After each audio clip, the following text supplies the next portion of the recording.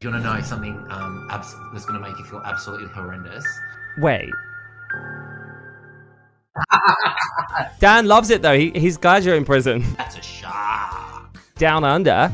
No. Thought we were like absolutely crazy. Well, No, she's ours. ooh, that sounds like fighting talk. Who's he?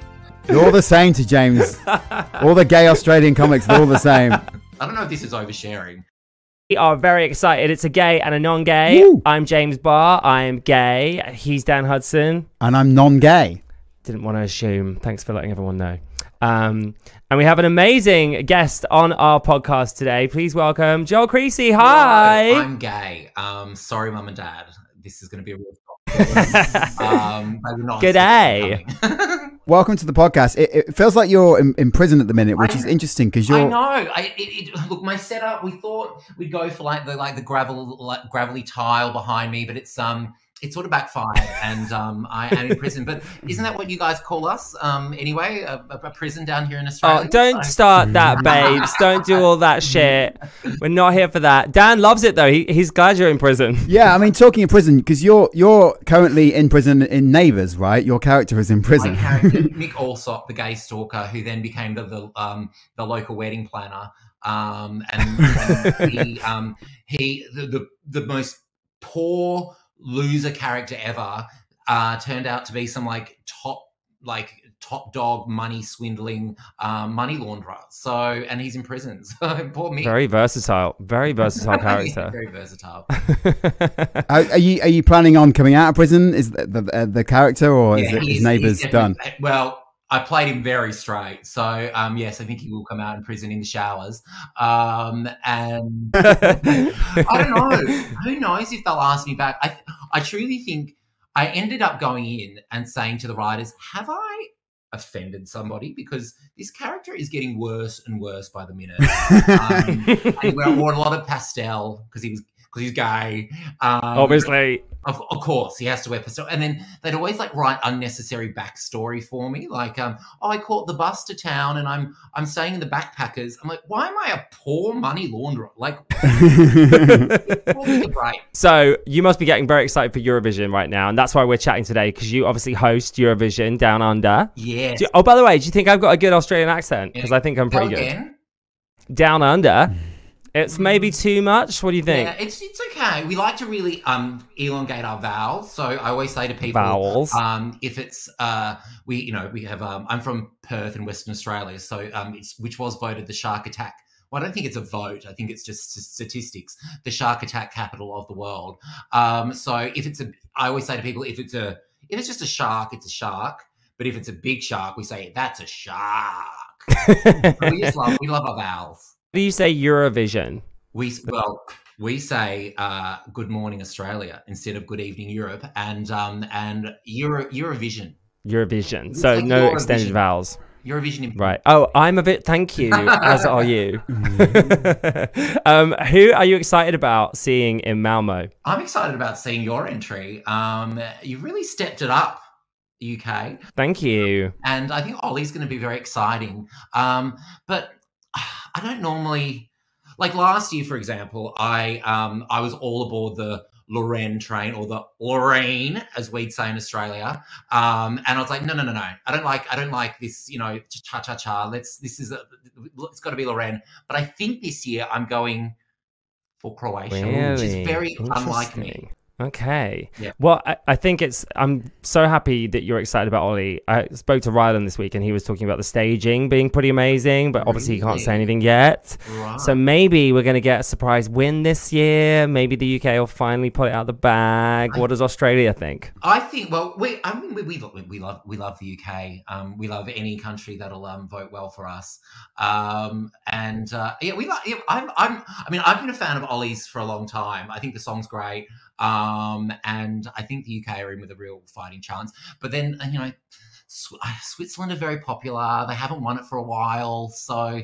Is it going to be Switzerland's year? I don't know. It could be. When do you land in Europe? Because I'm hosting a big party called Malmohagen in Copenhagen. Hang on, Uh, the, the. Saturday before, Australia are confirmed to be performing. It's going to be their first pre-party performance for Australia, which is so exciting. Oh, we are oh, I- buzzing. I, land on the Sunday um, leading into Eurovision. Um, you can't come and- then. Come? no, it's on the Saturday. No. What if I swap my? I'm time? gutted. Electric Fields Maybe are so incredible live. They are Yeah. just so like they've really in the last few years blown up in Australia.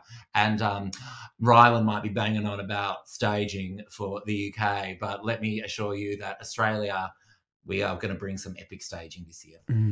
Ooh, that sounds like fighting talk. Um, Yes. the song's really important as well, right? Because it's a song that praise. Dan will be back in a minute. By the yeah, way. just, yeah, this just is Dan, it was so nice to meet you. We're in the gay section of the podcast. Yeah. We'll transfer to the non-gay section again in a second. Um, so Electric Fields praises Aboriginal culture, right? Can you tell us a bit more about what the song is is giving? I think it's um it's it's very quintessentially Electric Fields. Um, Zachariah's voice is just incredible, and you know it's re- like Eurovision week is a real marathon. That's why I totally understand when countries enter music theatre acts who are used to doing eight shows a week. Um, but I know the staging is going to be um, quite an ode to um, uh, their their heritage and um, and Zachariah's heritage and. Um, look, they don't they don't tell me a whole heap our delegation because I am a bit loose, a bit loose lipped. I'll probably find out when everyone else finds out. What's the vibe like when people are watching in Australia? Because as you just kind of alluded to, it's like it's in the morning, right? So over here, it's like a party. Is it a party at like breakfast time in, in Australia? It's um, 5 a.m. It starts here, and a lot of um, a lot of the you'll be shocked to hear this. The gay clubs um, host Eurovision viewing parties. I even hosted Eurovision viewing parties before I was the commentator, um, and it goes off. So some people either stay up all night. Uh, some people get up early and have breakfast. Um, we get a lot, lot, of Vegemite on toast pictures coming through because we are a cliche Australia, and um, and then we re-air it in the evening. And because Myf and I have been doing it for a while, um, that a lot of people play. Um, we call it bingo, but it's really a drinking game. And uh, people just see uh, how many Real Housewives references I can get into um, a broadcast. um, how many times Myf can get the voting wrong. Um, so yeah, we're a dream team. I think we need to get the Countess to enter Eurovision for one of us, like UK or Oz. I like the Countess agree Luann would just be so great. Chic C'est La Vie at Eurovision, come through. Oh my god, come through Countess Luann.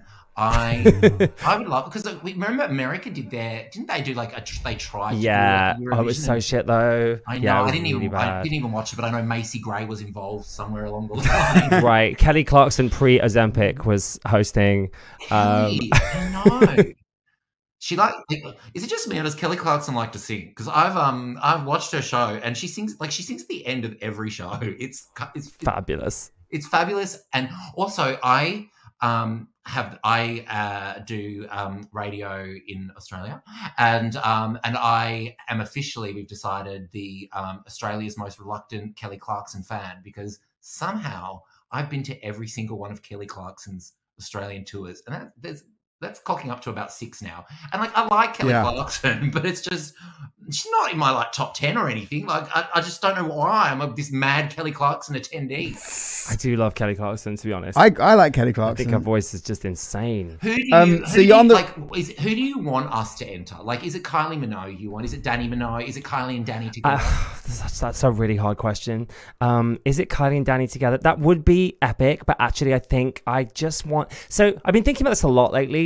Genuinely, I'm so glad you asked. Um, for me, Kylie is like corporate Minogue, and Dannii is the people's Minogue. Dannii so I fun. think.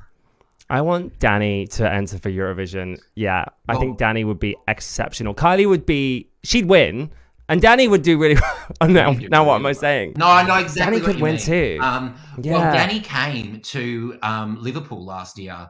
Um, and came we came along. Um, we might share the same management, and um, and and she came along to the show, and then Dannii put up a picture of the Eurovision arena on Twitter a couple of months ago, and the gays went mental down here. Yeah, we did. Dannii had Same here. um, yeah, no, no, no. But why not? Why not though? Well, Do you think she will? she's she's definitely having attended Eurovision, and I have to say the collaboration between UK and Ukraine was the best Eurovision I've probably attended, and Mm. um and Hannah Waddingham marry me. Wow, Um, right. Oh my god! But I think she's really gotten the taste for it after coming last year. So I think, I think with a little bit of massaging, we could get Dannii Minogue across the line. Well, if you don't get her, we're stealing her for the UK. no, she's ours. She's ours. Back off. Padum, padum. Oh no, that's Kylie. Um, you also are on the panel on RuPaul's Drag Race. I really want to know about the lighting. Can you talk me through the lighting? Because the lighting is just so good. do you want to? Okay. Do you want to know something um, abs- that's going to make you feel absolutely horrendous? Um, I'm not on the panel of RuPaul's Drag Race. Um, it was my Wait. best friend Rhys Nicholson is on the panel. Oh my god, I'm sure you've been on that. No, I've never been on the panel, but I'll tell you. uh, So Rhys and I, Rhys, and, Rhys Nicholson and I are best mates, and We were know both- Rhys as well, but I'm so surprised I made that mistake. I'm so sorry. They're all the same. Leads me Shut into- up, Dan. They're all the same to James. All the gay Australian comics, they're all the same. well, well, look, Rhys and I kind of think we have um, gay, uh, gay Australia under lock and key because Rhys does uh, Drag Race, I do Eurovision. We both sometimes host Mardi Gras. Um, I, I do the Real Housewives reunion down here, so we just we take all the gay gigs. Um, but when Rhys, Rhys and I were very um, open to each other about the discussion that RuPaul's Drag Race was, you know, potentially happening, and um, and the day I found out it went to Rhys um, I also had, I don't know if this is oversharing, but I'd also gone for, you know, done the right thing and gone for an STI test uh, a couple of days before. Just and I, my doctor called, and um, a few hours after finding I didn't finding out I didn't get drag race, I also found out I didn't have chlamydia, and like a real lose lose day for me. Swing, swings and roundabouts. I know. Swings and I. I roundabouts. love a script. I'm actually missing. I'm actually missing an STI ca- uh, checkup for this interview, so uh, you're but welcome. that's Mhm. hey. Here's your reminder. Here's your reminder. Before Eurovision, Thank you. a good idea. Thank you so much. Yeah, definitely, definitely. When you when you next speak to Rhys, by the way, ask him about us because um, he when we played the Edinburgh Fringe a couple of years ago, we were we basically shared the same sort of backstage area as him, Oh, and I think he thought we. I think Yeah, I'd love to know what he actually thinks of us because we got him on on on the show, but uh, I think he thought we were like absolutely crazy. Well, he would have heard all our arguments backstage. He would have heard our bickering, so he probably was I'll, dreading um, I'll, I'll, I'll give um, Lady Nicholson a call after this, although. Rhys never answers their phone, so it's yeah, it's it's it's hard. We did, we just did a big Christmas tour together as well, Amazing. um, because we Yeah. thought we also think we're the Mariah Careys of Australia, so we really Mm. we're also got Christmas under lock and key. Great. Well, that is gay. So That is Yeah. Oh, our Eurovision, show is Christmas. very gay. Halloween, all of it. Um, you actually opened for Joan Rivers recently. Can you tell us about how that went down? Please tell me Joan personally reached out. So it was when I first worked with Joan, it was about 10 years ago, and it was one of those random calls that you just hear about in showbiz, but you're like, they don't really happen. Like Daniel Radcliffe wasn't just stopped in a bookshop and was told he looks like Harry Potter. Um, I genuinely got a phone call from Joan's management, and just by pure chance, she'd been walking by while someone was clipping together a YouTube, um, like best of my stand up, and she was like, "Who's here?"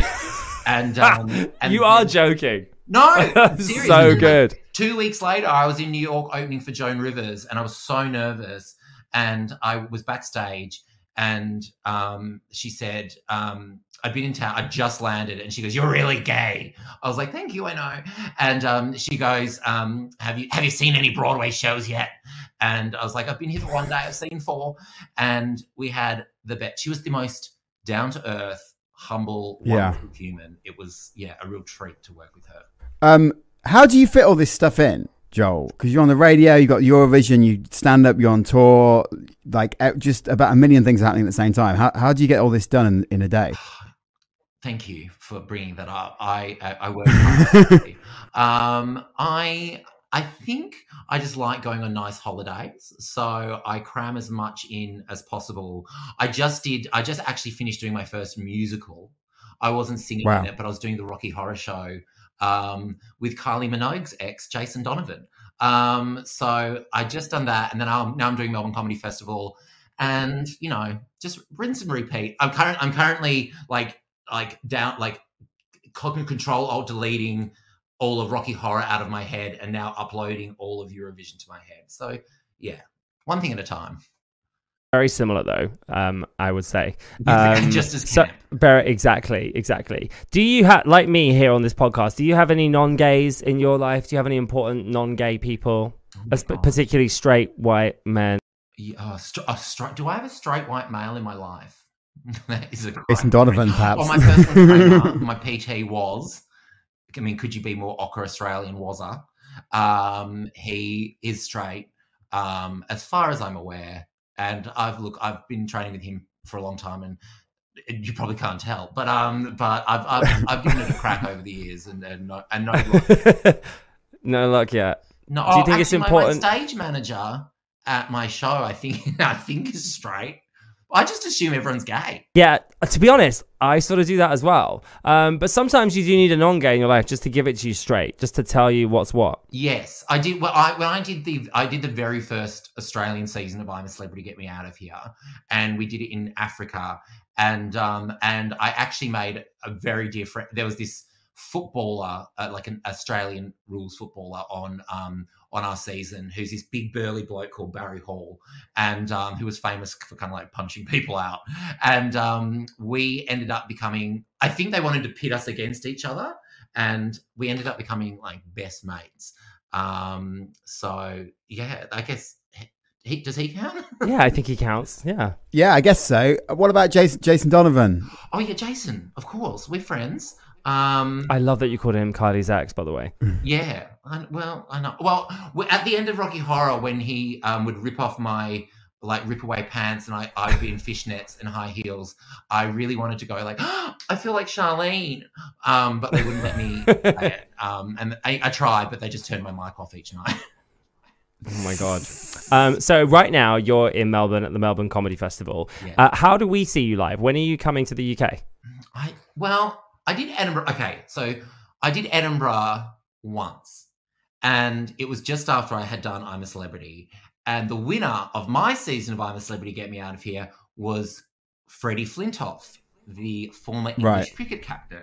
So we got on great. I mean, uh, was I furious that he won? Yes, um, but uh, we spent six weeks eating eyeballs in the jungle together, and then when I came to Edinburgh.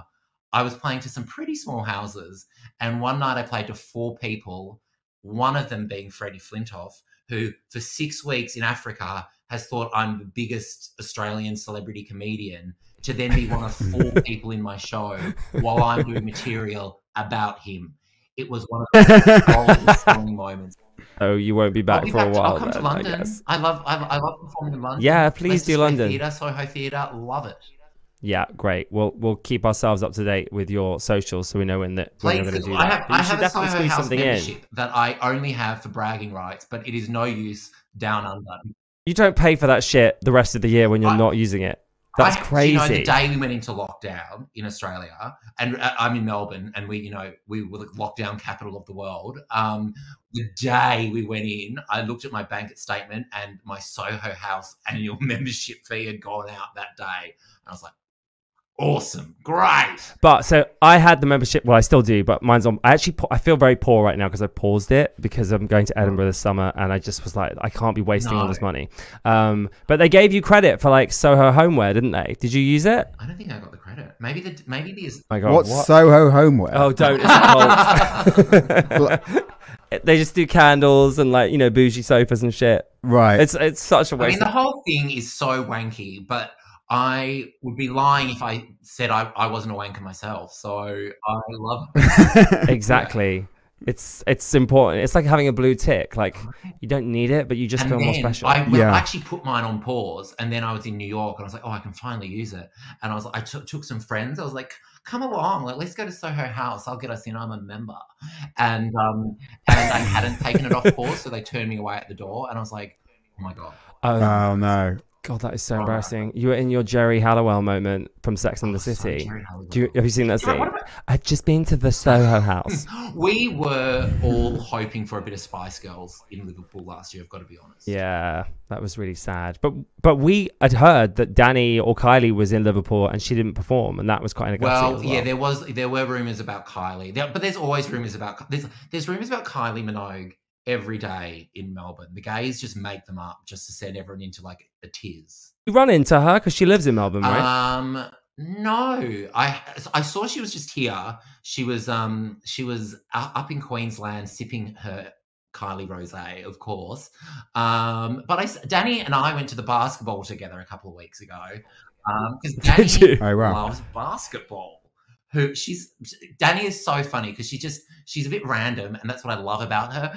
And um, yeah, we went to the basketball together um because she is like the the number one ticket holder for the the Melbourne team or something. So yeah, Mm. it, it's it was wonderful. That, I've never watched basketball. That feels kind of straight to me. So maybe you're. Well, I don't know. Like, round. is that is that straight? round. Did you understand what was going on? Oh, it was. Oh, Yeah. okay, cool. So you so understood. they played a lot of. Great. It was just Kylie and Dannii on um, on remix, and me pretending like I knew what was going on, and saying things like "goal," and I don't think that's correct.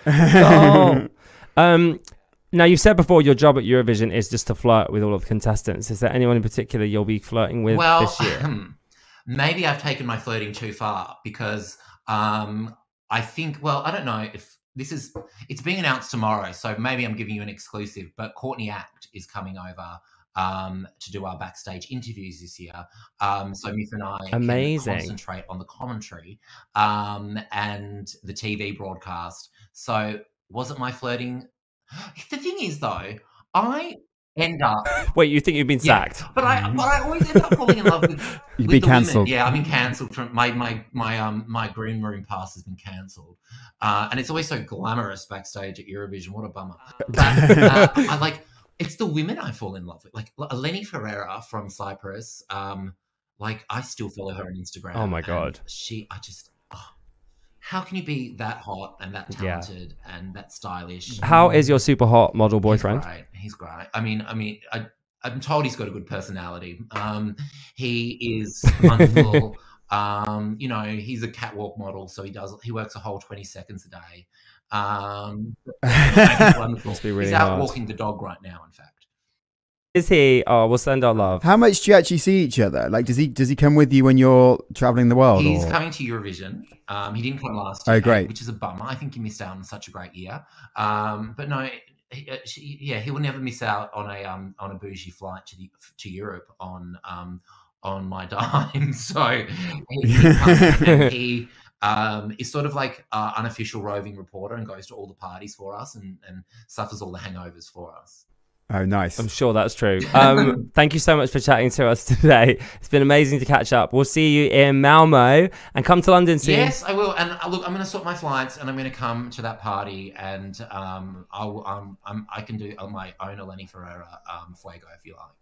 Oh my god, yeah, could you perform that? That would be great. Absolutely, I'll, I'll whip my hair back and forth and pop in some sequins and probably um, yeah, end the party. I'm sure early. you've got all the moves to Fuego. What? Oh god, Fuego has never been like that. Was for me. That's just the peak. Right? That's going to be my. Like Wedding song. I think my here. first Yeah, like all the time, and like not everyone in Australia is into Eurovision or knows Eurovision, but it's certainly blowing up. But yeah, Fuego's a staple. Everyone's like, "I love this song." I'm like, "You know, what's it's Do you Eurovision." know Fuego, Dan? I, I don't, but Dan? I'm probably n- I'm probably not the right target Oh no, you but are. anyway. If- Once you see Eleni, you you are. Oh, really? yeah. Oh my god, yeah. Okay, all right, I'll check it out. Um, Joel, thank you so much for joining us. you. We'll see you soon. Pleasure.